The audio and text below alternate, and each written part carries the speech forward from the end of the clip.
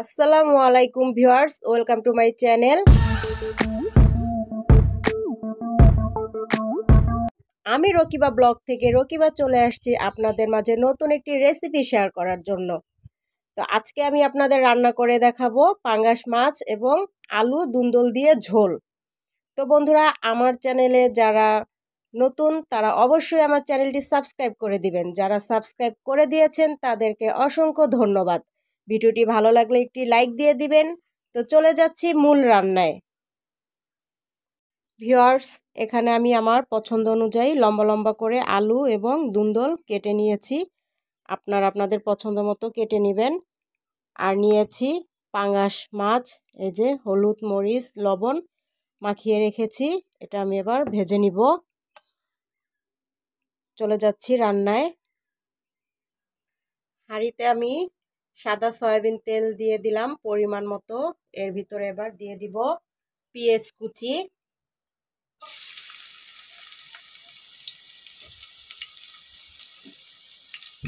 পেঁয়াজ কুচি দিয়ে দিলাম।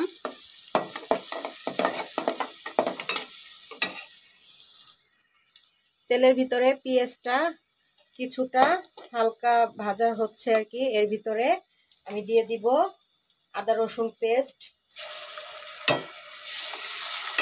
আদা রসুন পেস্ট দিয়ে ভালোভাবে আমি পেঁয়াজের সাথে ভেজে নিব। আদা রসুনটা আমি পেঁয়াজের সাথে ভালোভাবে ভেজে নিলাম, তাহলে কাঁচা গন্ধ করবে না, এর ভিতরে এবার আমি পানি দিয়ে দিব। এবার আমি এক এক করে সব মশলা দিয়ে দিব। এই হচ্ছে হলুদের গুঁড়া, লাল মরিচের গুঁড়া, ধনিয়া এবং জিরা গুঁড়া, আর হচ্ছে স্বাদ মতো লবণ।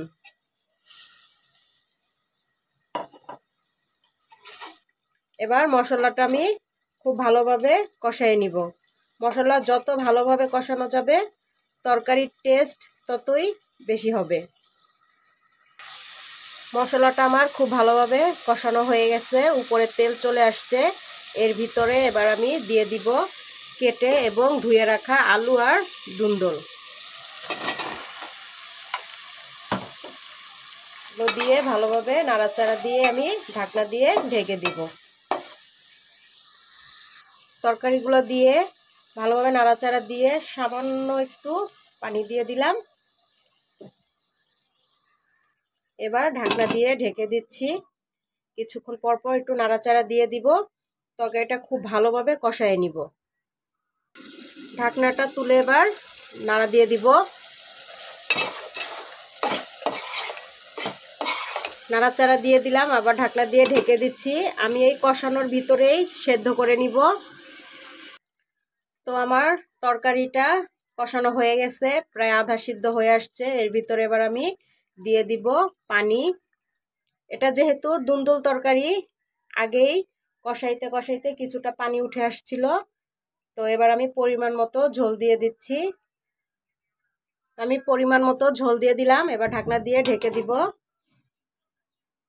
তরকারিটা আমার টকবক করে ফুটছে, এর ভিতরে আমি দিয়ে দিব ফালি করে রাখা কাঁচামরিচ। আবার ঢাকনা দিয়ে ঢেকে দিব। আমার আলু এবং দুন্দল খুব ভালোভাবে সেদ্ধ হয়ে গেছে। এর ভিতরে এবার আমি দিয়ে দিব ভেজে রাখা মাছ। দিয়ে দিচ্ছি। মাছগুলো দিয়ে দিলাম। এবার টকবক করে বলক আসছে। এর ভিতরে দিয়ে দিব জিরার গুঁড়া। জিরার গুঁড়া দিয়ে দিচ্ছি। আমি জিরার গুঁড়া দিয়ে দিলাম। আপনারা চাইলে ধনিয়া পাতাও দিতে পারেন। আমি তরকারিতে হালকা ঝোল রাখব। এই তো কিছুটা ঝোল আছে, এবার আমি নামিয়ে ফেলব। আমি এই মাছের তরকারিতে আজকে ঝোল রাখব। তো এই যে দেখেন, বেশ কিছু ঝোল আছে, এবার আমি চুলাটা বন্ধ করে দিব। তো চুলাটা বন্ধ করে দিলাম, এবার আমি তরকারিটা তুলে ফেলব। তো বন্ধুরা, আমার তরকারি রান্না করা কমপ্লিট। দেখেন, কালারটা কত সুন্দর আসছে, একদম টসটসে। তো আমরা অনেকেই কিন্তু পাঙাশ মাছ ভুনা ছাড়া খেতে চাই না। তো অবশ্যই একবার ট্রাই করে দেখবেন, এভাবে সবজি দিয়ে পাঙ্গাস মাছ রান্না করে খেয়ে দেখবেন। আশা করি ভালো লাগবে।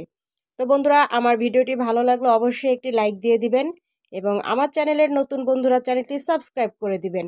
পাশে থাকা বেল আইকনটি অন করে দিবেন। আমি যখনই ভিডিও ছাড়ি আপনাদের কাছে যেন পৌঁছে যায়। সবাই ভালো থাকবেন, সুস্থ থাকবেন। আল্লাহ হাফেজ।